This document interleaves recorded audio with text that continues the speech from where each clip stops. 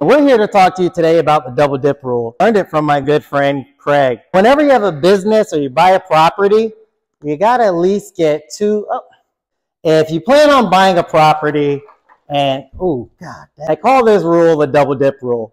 And the llamas do it best. And, oh, shoot. All right, come on. This way. This way. Shoot, this is bad. Very bad. No, come here, come. Grab the rope out there.